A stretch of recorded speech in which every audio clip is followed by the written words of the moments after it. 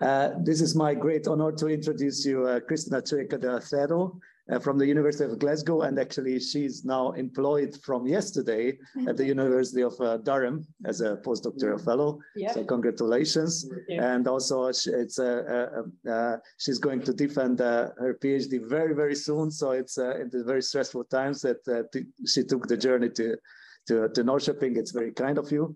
And of course, uh, it's it's very nice to to have you here. Uh, uh, somebody who is uh, uh working on political polarization, uh, doing agent-based modeling, and uh, and online so offline social networks. It's all topics that are interesting for for for the IS.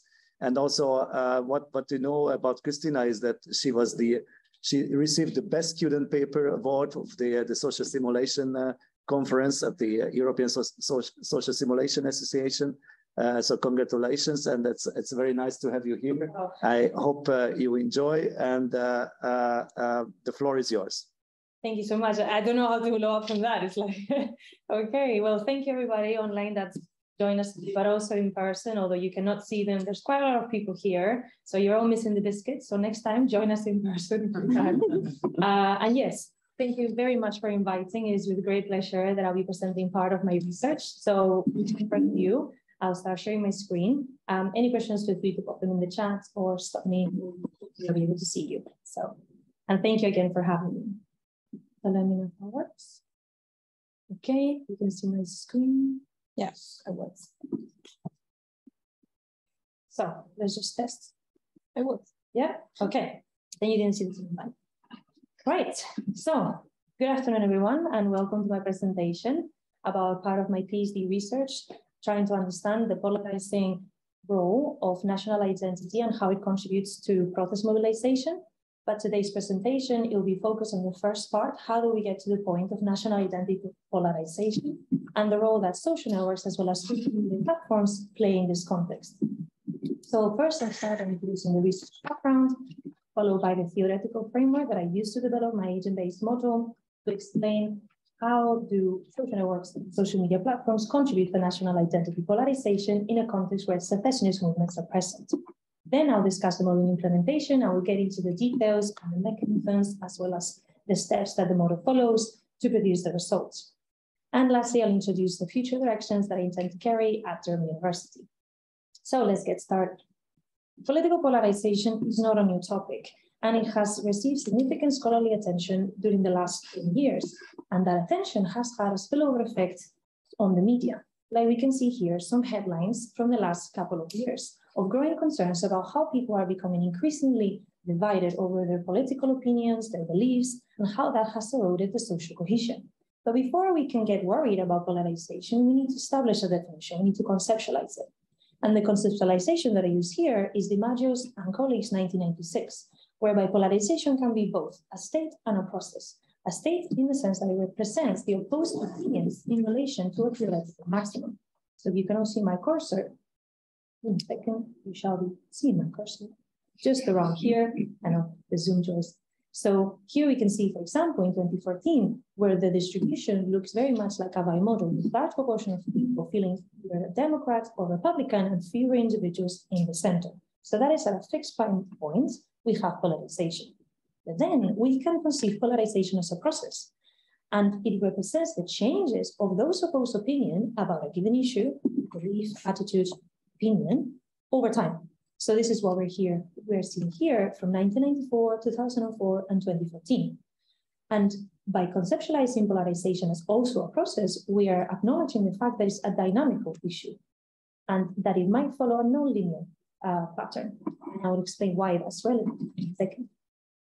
We also need to take into account the context in which this is happening, because increasingly social media platforms have become essential to our everyday lives, everyday discussions, and have made us uh, access to a lot of information, such as you currently joining me on Zoom in person.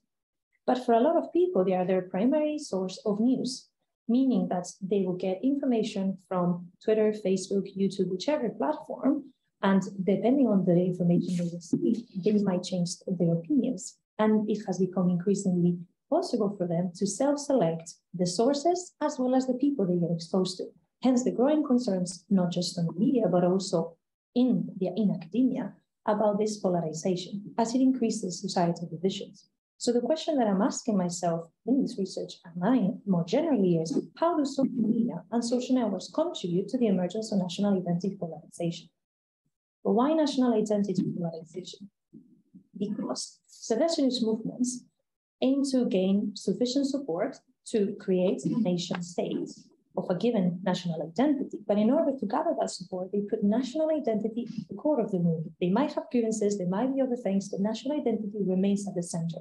And they ask individuals to choose from their dual national identities. Do you feel more Catalan than Spanish, more Scottish than British? And in doing so, they deepen pre-existing divisions over national identity. And this is problematic because if we were concerned about polarization, but we apply it to the context of national identity, this growing opposition over time can not only escalate the political conflict, but have consequences such as protest mobilization, which is a part that I'm happy to discuss, but I will not be covering in today's presentation. I thought it would be useful to provide you with this graph from that I created from data using uh, data from the Catalan Center for Opinion Studies on political attitudes. And it's a time series from 2011 until the most recent data in 2022. And this is showing us the responses of individuals to the question of national identity which is usually known as Linz-Moreno question about dual national identity, where individuals can, can identify with a single or a dual national identity and something in between. And on the uh, y-axis, we see the proportion of individuals identifying with each of these categories. And if we pay closer attention to the 2011, which I chose because it's the start of the institutionalization process of Catalonia, the case study that I'm interested in exploring, we see that this purplish line at the top is the proportion of people that felt equally Spanish and Catalan, right? On the fence, having a dual national identity. And we see that it's above 40%. But if we look a little bit farther down, we see this pinkish line and ugly green line. And these are individuals that felt either more Catalan than Spanish or solely Catalan. So we're seeing people shifting towards that extreme. And then we see some people at the bottom that feel solely Spanish, but that proportion is not relevant what we are seeing is if we are the people that feel more Catalan than Spanish and solely Catalan is actually over 50%.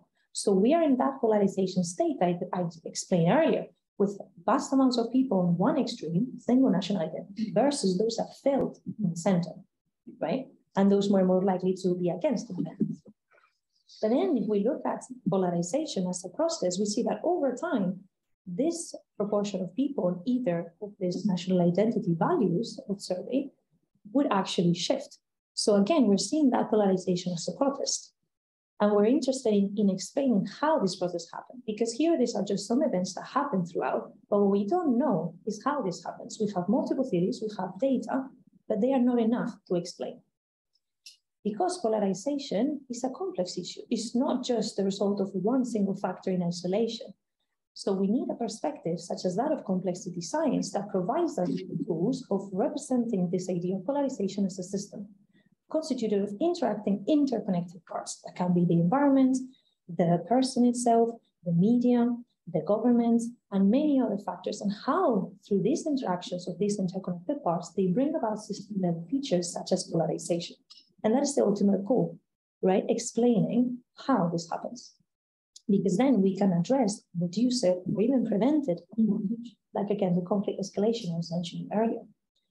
And the method that is most suited to answer this question is agent-based modeling, because it allows to simulate this and replicate this complex system idea and provide us with a tool to create an artificial society, that of like that of Catalonia, where individuals interact with each other in their social networks as well as with the media, and how through those interactions we observe or not that polarization, therefore providing us with a possible and plausible explanation. Because here we're not interested in predicting, right? There's too many assumptions and there's too many things we still don't know. But with what we know, with the theories that have already suggested how people interact with each other, how they change their opinion, can persuade each other, we can still tell something meaningful and actually quantify how each of these factors play a role. So the model that I am proposing here aims to, again, understand the role of social networks and social media and how do they contribute to the polarization of national identity. And the context to which we're applying this theoretical model is Catalonia, because again, we've seen that since 2011, there was polarization and it has continued throughout. So we want to explain that to try to address perhaps uh, decreased social cohesion in this context. And at the same time, we're able to obtain data from the Catalan Center for Opinion Studies, which means that we can compare the abstract theoretical model to an empirical version one and to see how our theories with the mechanisms I'm about to discuss can actually be replicated with real world data. That is not calibration, but we'll get to that. And I thought it would be useful to put this little visualization here, as again, these are the two key components of this model. There could be more, but again, every model is a simplification of society and reality as well. So these are the ones that are concerning us here today. So at the bottom, we have social networks, and the main mechanism is social influence through which individuals will shift their national identities. But that is motivated by the principle of homophily, which states that individuals will tend to form connections with those they deem similar. So similarity in this model, for the purpose of this presentation, is concerned with national identity similarity. How much do our opinions, national identity values in this case, overlap? And the closer they are, the more likely to form a connection. Again, these are assumptions that will have implications for the resulting information as well as numbers. At the same time, we have that social media environment that I was discussing earlier, where individuals discuss their opinions with other people, get exposed to information, and that affects their national identity. But again, here we have two very interesting and important mechanisms, namely the filter bubble. Because there's vast amounts of information on social media platforms, we would expect that the information has to be filtered somehow. But the question is, how you filter that information will have a direct impact on the information a person receives, engages with, and also subsequently updates their opinion, which might decrease selectivity, the, the option of information regarding opinions that might disagree with their views, and again, might promote polarization. So we need to take that into account. At the same time, we have this idea of echo chambers, which is contested in the literature whether they exist, to what extent, and what is their influence. But still, we are assuming that they might exist in, key, in this context of online social networks, whereby following the principle of homophily, once again, individuals on social media platforms will not just select their friends, but also the sources of information they're exposed to, based again on similarity. So the expectation would be that on social media platforms, most of your friends will have similar attitudes and you will share information that agree with. But again, there's hidden assumptions within that, and I'll explain those in a second. My theoretical framework rests on four large pillars of the literature that I'll briefly here, but I'll go more in depth explain how my model works, because that's the challenge of. Taking the theory of reality and abstracting it in a meaningful way, and then getting the results to then make meaningful, make meaningful answers from those data that you get. So Agent-based models are a tool that follows a bottom-up approach, meaning that is mainly concerned with um, individual level interactions and how, through the interactions of these individuals, as well as the environment they're in, they bring about the system level features. So we need to start from social influence, which explain how individuals persuade each other and influence. Then we have network science and communication, which tell us how people make connections the importance of certain people in the network and how that might promote information cascading and how we communicate. So that is the social media element as well. Then information cascading and opinion dynamics are the system level theories that explain the different patterns that after interacting with individuals and information in terms of sharing, like how far information will carry over, the importance of one person for um, sharing information and as well for like opinion dynamics. So agent-based models have three key components, agents, the attributes of these agents, and the environment. So the agents are meant to represent the unit of analysis. And in this case, we're interested in Catalonia and how national identity polarization emerges. So we're concerned with the individuals, people.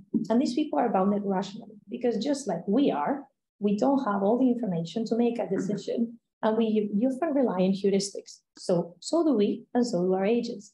These lovely people here um, that I've developed in NetLogo. And the population of this agent-based model is 2,500 to correspond to the survey sample. So we can draw meaningful um, conclusions from the abstract model versus the empirically informed version. And just like people, our agents in this agent-based model have various attributes. And again, agent-based models rely on simplicity.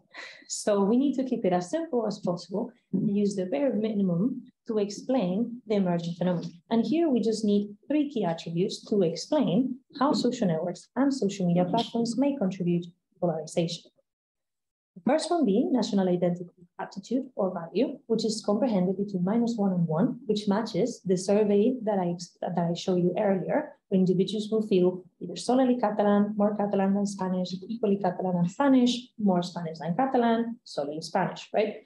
But in this case, it's continuous, so we can it rather than um, a nominal variable. And these properties are reflected here. See, it says not ID, and that's a value that is assigned. Then we have two very relevant parameters, namely uncertainty, and that is taken from existing opinion dynamics models, whereby it absolutely represents how easily persuadable or convinced is a person of their views, right? But what differentiates my model from previous models is that uncertainty is not a homogeneous value given to every agent, meaning every person has the same likelihood or be persuaded when they encounter information that agrees or disagrees with them. In my model, it follows a normal distribution because there's a diversity and heterogeneity in how likely is a person to change their opinion. So we cannot just assume that every person has the same likelihood. So in this way, we're introducing some realism, some more realism to this model, right? So there'll be people that will be very, very convinced from their views, super centered. I will never change my opinion regardless of what you say, because there'll be other people that will be very, very easily convinced. And then the large proportion of people will be like a bit on the fence, let's say. Then we have engagement. And this parameter is relevant because it actually represents how social a person is. And this will have implications not just for in information cascading, but also for opinion dynamics. And it's capturing the fact that, for example, on social media platforms, we have large proportion of people who are lurking, basically exposed to a lot of information and not actively sharing information, right? So their networks might not see it, just because they're not sharing information doesn't mean that they are not updating their information, that they are not getting persuaded. So these are two separate processes, and we need to account for both. So the engagement will represent how, how sociable they are and how engaged they are online. And again, it's drawn from a random normal distribution. Oh, sorry, there's the question. So what, what is the the engagement, the point of having an engagement variable? What, what is what does it mean for someone not to be engaged or someone to be engaged compared to the outcome of interest? So that would influence their decision of sharing information. So if they are not engaged, they might get exposed to information from the media but if they're not engaged, they don't have an incentive to share it. And that means that their social networks will not be getting information from them. Okay. So they'll be getting interpreted from the media. And this is very important because we're not just modeling social influence as a one-to-one person, but also there's a distinction. If you get information from the media, it might not have that social influence um, factor. Whereas if you are sharing information with me, because we have a social connection and our, our connection as nodes on the network is weighted, that might have an influence. Because, for example, I was going to use this example just in a second, because um, it was coming next, so if you were just very quick. Um, if your mom is sending you information about flat Earth, you might be like, "This is bonkers." But it's your mom, right? So it's not just your colleague that you've spoken twice at the coffee machine; mm-hmm. it's actually your mom. So while you might not change your opinion, you might actually consider it. Whereas if you saw that on a random website on the internet, you might not think about it. So whether you are more or less engaged will also play a role in this. I hope that's clear. Yes, sure. Uh, also about the, the previous slide, mm -hmm. the national identity attitudes and the mm -hmm. uh, and the engagement. Will they also follow the uh, the distributions from the sam uh, the survey or? So for engagement, we don't have data on that. So currently, it's a random normal distribution, but this is one of the thing, the challenges with agent-based model that we don't always have real-world data to inform our parameters. We have theories and assumptions that we have to make, but this is a very good start to see is it engagement what is making the difference, or is it actually the distribution, right? But um, in this case, national identity, I've made two versions of the model, and I was going to discuss them in a second. So don't worry, I'll cover okay. this again. One with a random normal distribution, right? Our theoretical one of how the world works. And then the one with Catalonia's national identity data from 2011 that was polarized mm -hmm. to our understanding. And how do those, with the mechanisms that we have built in here, of how people communicate this information, produce different outcomes? So, are there, I don't know if there are any questions. Oh, there's things on the chat, but are there any questions on the chat? No, no, okay. Uh, just like that. Right, no, it's already. Okay, thank you. So now we have our agents, we have their attributes. Where is this action taking place? At the model environment which is a weighted multi-layer multiplex network. So it's more exciting uh, than what it is. But um, it's a multi-layer because it has two layers instead of one. And it's multiplex because the same nodes, uh, the nodes are representing the same entities. So they are the same people on both layers. And we have two layers because again, we're interested not just on our traditional social network, right? Like in person that we're having in this room, but also our online counterparts. And they follow two different distribute topologies. So the offline layer, which is the top one in purplish here, follows a vast VATS mobile network, which is informed with uh, data from Miranda Lubbers and colleagues about Spain, and the average node degree was taken and scaled down from them. So it's empirically informed. Similarly, our online layer follows a different topology because that's what the literature has found for online social networks. And it follows a Barabasi scale-free network. And we inform the average node degree from Robert Dunbar's and colleagues' work on social media platforms. Maybe.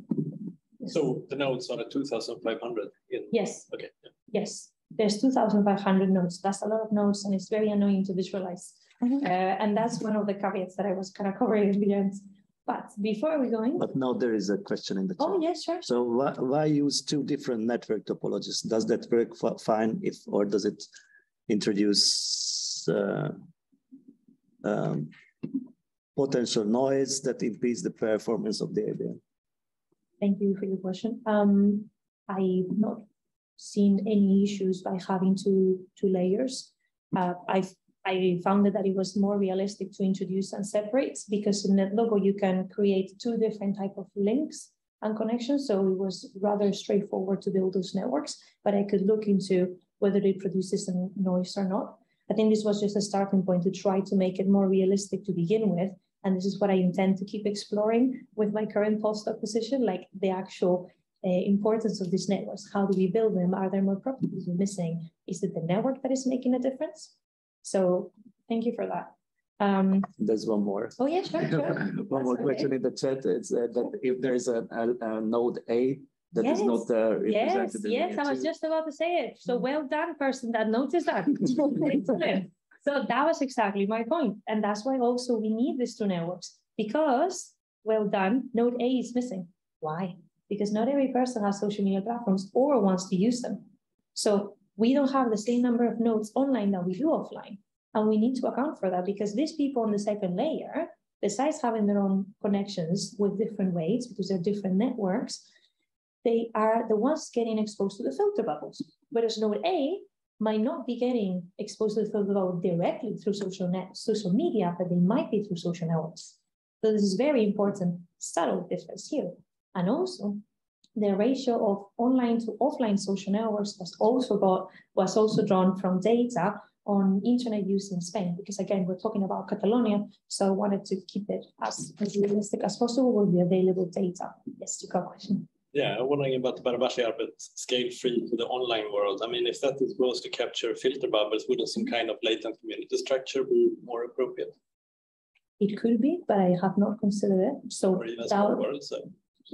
I just thought that it would be good to start with the traditional Barabasi network to see as a theoretical proof, and then we could look yeah, more yeah. specifically. Because at this point, I feel like the social networks in this model are means to an end. They are not the focus per se, which is what I want to continue doing because I realize that it's a large part, but I don't want to spoil the, the, the results yet. Yeah, okay, um, but no, I'll, I'll, I'll, be more than happy to discuss that after the community detection. Absolutely, no, um, it's a starting point, absolutely, and then we can shape the, the construct later on. Mm -hmm. yes. Okay, cool, thank you. Um, so yes, so in these environments, we have the two layers. And because we have two layers, we also have two communication regimes because it's not the same to share information in a one-to-one -one communication like we do offline, uh, this last expectation versus online. Because if you read, share, comment, like anything on social media, all your networks will eventually see it on their feed. the information he's reading will be very different online and offline. And this is a way of capturing that too. Should at it.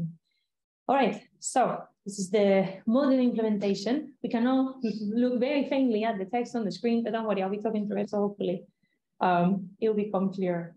So we have two decisions because again, we're interested in how the people engage with information, decide to share that information, and the resulting uh, of national identity changes. So the first of the two decisions in this model is whether or not to share information from the networks. So what I was just saying about the filter bubbles, if I have created two separate scenarios to test the effect of filter bubbles on the resulting national identity dynamics.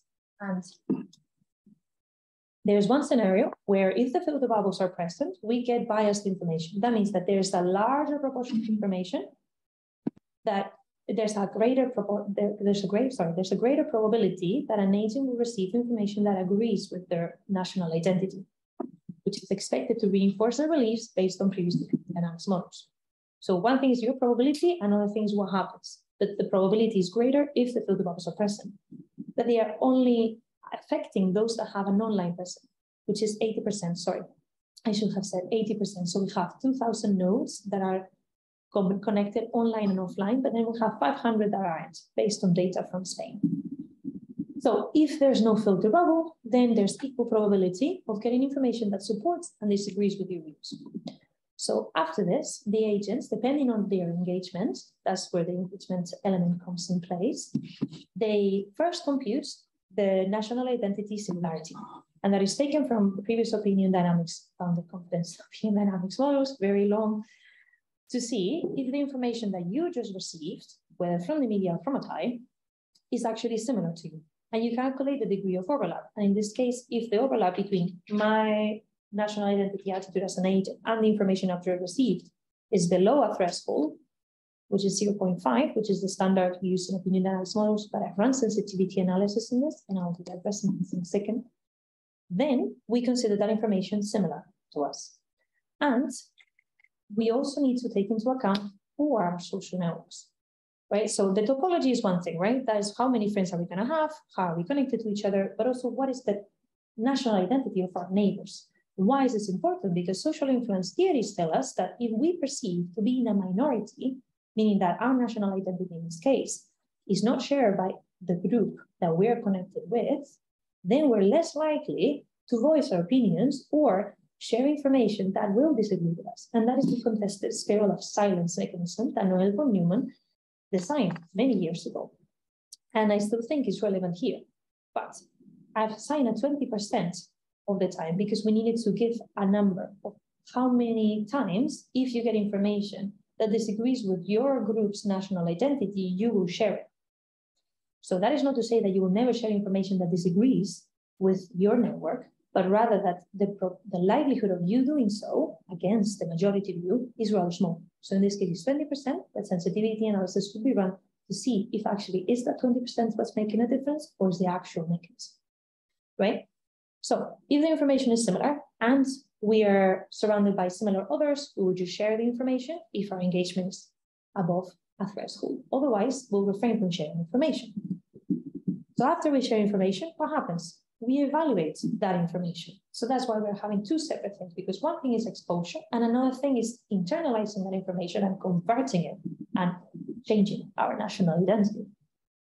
And here we have two options. So if the agent receives information from the media, then we don't have that social influence component because of what I was saying earlier.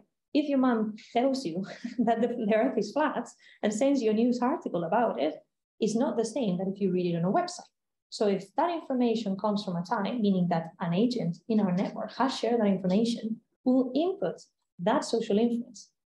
Because we have three types of social influence in this model. We have assimilative influence that says that if you receive information that agrees with your pre-existing beliefs, in this case, national identity, that will reinforce our opinions. We also have repulsive influence, whereas if we receive information that might disagree with our views, it might actually push us farther. But then we have the third one, Third type of social influence, whereby we might receive information that disagrees with us, but because of that social influence, we might get persuaded in favor of the opposite opinion. So this is very interesting because again, if your mom is saying this, I'm not saying you're going to change your mind overnight and believe that the earth is flat now, but slowlier than alternatives, you might start shifting in that, in that direction. That is not to say you will, but there is an option there. So this leaves the door open for that potential to happen.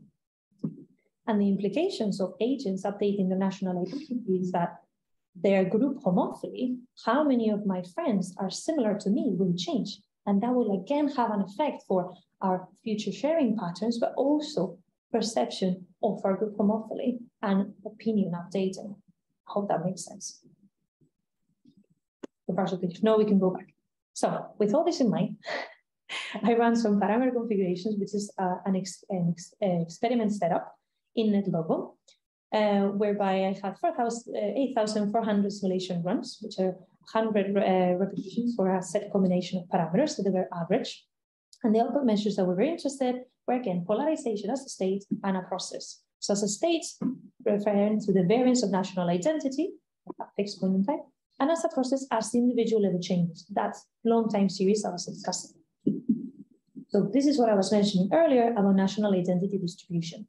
So by using Catalonia to ground this theoretical agent-based model, I was able to create two versions of this model. An abstract theoretical one, where the distribution of national identity follows a random normal distribution, meaning small proportion of people feeling solely Catalan, small proportion of people feeling solely Spanish, and a large proportion of people feeling either way. Alternative to this are the 2011 dataset, where we clearly see that there is a skewness towards the left in this graph, whereby larger proportion of people are feeling either solely Catalan, definitely more Catalan than Spanish, or equally Catalan as Spanish. And as we go towards the right end of the graph, which is minus one, less people are feeling Spanish. So we're comparing our initial conditions against these two distributions to see whether it is the distribution that's making a difference or is the agent interaction with the environment and each other that is bringing out the system level features.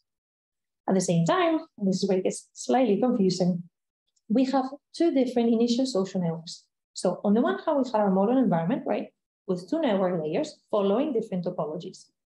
But what changes here in this initial social network setup is if we look at node I in the center, the, the homophily in the initial network. So we have a random one whereby you have equal probability that your neighbors will share similar national identities, right? Whereas the homophilous one, you'll be surrounded by a majority of at least 70% of your neighbors sharing that national identity. So they are already encapsulated in that echo chamber. So again, we're testing the actual role of social networks. Does it make a difference who are your friends to begin with, or is it actually the information, or is it both? I hope that point is clear. Also, the blue belongs to Catalan, just in this case. I adapted this figure from Lee and colleagues. And the orange looking one is Spanish. So we can see that like five out of six in this case are in favor of Catalan, like more Catalan than Spanish, same as I. Does that make sense? So topology goes on the one hand, and then the random initial social network is an independent thing. It's regarding national identity. Just because I know that there's also random networks as a topology, and that it's slightly confusing, but no, it has to do with national identity similarity. It's clear. And then the final hurdle is two different social uh, social media scenarios that will shape the media environments. One, where we don't have a filter, meaning there's an equal likelihood that you get exposed to information that agrees or disagrees with your national identity. And one, where like you primarily get information that supports your national identity. So again, you're getting that constant reinforcement. Doesn't mean that you are going to become more extreme, but it might. Are we clear up to that? Are there any questions? No? Right, so are the actual outputs of this modeling spaghetti plots. So yeah, I'll break down this, this massive figure. So we'll look from left to right, top to bottom. So on the left-hand side, we have a combination of social, of, so, of social media filter bubble off. That means that individuals are exposed to random information, non-biased, on the left. And on the right, we have filter bubble on. That means that they are primarily exposed to information that supports views. On the top row, we have initially homophilous social networks. That means that at the start of the simulation, you were primarily surrounded by individuals that share similar national identities. Whereas at the bottom of the graph, we have a random initial social network, meaning that the national identity of your connections is random, not that the connections are random themselves. That depends on the topology. So what do we see? These are the results for the initially random distribution of national identity, meaning that we had very few people at the extreme, meaning at the top of one, corresponding to feeling Catalan solely, and at minus one, feeling solely Spanish, and then larger proportion of people feeling in right? So this is our ideal distribution theoretically formed. And what we already see is that just looking from left to the right, so filter bubble off to filter bubble on, there's a clear difference. And what we see is that polarization is converges. But this is very interesting because despite of starting from different social networks, whether you're surrounded by similar others or not, because you're getting exposed to information that agrees and disagrees with you, there's actually very few extremists because the extremists that started at minus one and one are actually drawn towards the center as there is no information or people that share their beliefs. So there's no incentive for them to become more extreme, to become more polarized. Whereas if we look at the filter bubble on, we see a slightly different picture, especially when the initial social networks are homophilous, meaning you're surrounded by friends that support your national identity, as well as information that will agree with those views. So what we see is rather like it spans towards either side and it's slowly becoming more polarized, very slowly, but it's not a clear picture. Again, it's a, uh, yeah, it's, a, it's, it's an explanation for why could this happen. But it's when we actually look at data from Catalonia that the picture becomes slightly more clear. So we again see that when there's no filter bubbles, there's a shift from the extremes, right? All these people that felt either only Catalan, more Catalan than Spanish, start to shift. But we see it's a rather slower transition when we have an initially homophilous social network because we're still connected to people who agree with our views, right? But because we're getting information that disagrees with our views, the people that were closer to that information slowly start to shift in favor of that uh, towards the center right? And less of our friends are similar to us. So we were at the start on the extreme, but we're slowly being persuaded. That's where we see this slow fluctuation over time. Whereas if we start from a random network, because we're in a mixed network and we're getting mixed information, meaning there's no similarity necessarily in national identity, it could be in favor, it could be against, it's much easier for that conversion to emerge. So we're already seeing that the initial social network, as well as the filter bubble, might be playing a role. But it's actually this one, the homophilous and filter bubble, that is the most exciting. Why? Because here we're seeing that the people that were initially identifying as solely Catalan, these people maintain that extremism. Why? Because they're surrounded by primarily people that support their national identity as well as information. So they are not becoming more extreme, but rather maintaining that extremism. And it's actually them who are drawing the people that felt just a little bit more Catalan than Spanish mm-hmm. towards either direction. And this is the very interesting thing because existing opinion dynamics models are showing that bimodal distribution with everybody on the extremes, nobody in the center. But here, this is one we're not seeing. We're still seeing like a decent amount of people that stick to their guns and stay in the middle, that don't want to shift in favor of just feeling Catalan or feeling equally Catalan and Spanish. These darker mm-hmm. areas here and at the top. And then some people that still maintain feeling solidly Spanish. So it's very interesting because again, we're seeing how these people split. And these are the people we should be concerned about because these are the people in the center willing to listen to either side. So start from homophilous social network as well as social media platform filter bubbles promoting information that increases polarization, but it's not that scary polarization of the bimodal distribution, but rather slow but continuous shift in favor of either option. And then for the random network, uh, initial social network, sorry, we see a more or less similar picture with, again, an initial shift from those that felt solely Catalan towards more Catalan, but then they slowly go back into the extremism. So we see what something happens in opinion dynamics models where initial age as extreme as the extremist of their friends. So they cannot go beyond how extreme my friend is, but I can shift in that direction. But again, I hope this are clear. What, what are the conclusions? What are the implications from this? that the network configuration affects the polarization of national identity that is actually in the presence of social media filter bubbles, that it actually promotes that attitude polarization, not as extreme, but equally concerning. Because we're seeing how these people, in the special case of Catalonia, are shifting in either end, which is what I initially showed on that uh, time series. So although time is abstract in this model, it still is able to explain to some extent, just by pattern validation, how individuals will shift from either feeling more Catalan towards solely Catalan or towards either Catalan and Spanish. And this has implications for conflict So where we here? Future directions is to focus more on the social network. This is the work that I intend to carry out at Durham University, where the idea is to generate socially realistic synthetic networks that have more than one network property in a single algorithm, which would allow us to exactly observe not just if we start from the average node degree, but like cluster coefficient, assortativity coefficient, centrality, all these measures into one algorithm that we can explore those networks and apply to contexts like mine, because we're seeing that it's not just the information that you're receiving, but actually who are you connected with and how these people interact, what is making a difference for the overarching national identity polarization.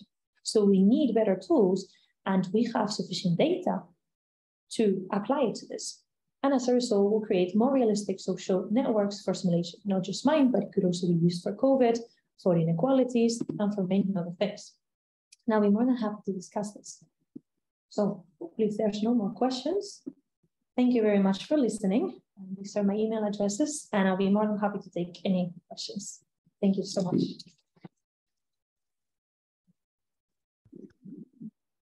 Should I pause the screen maybe? Uh, yes, and I also stop the recording so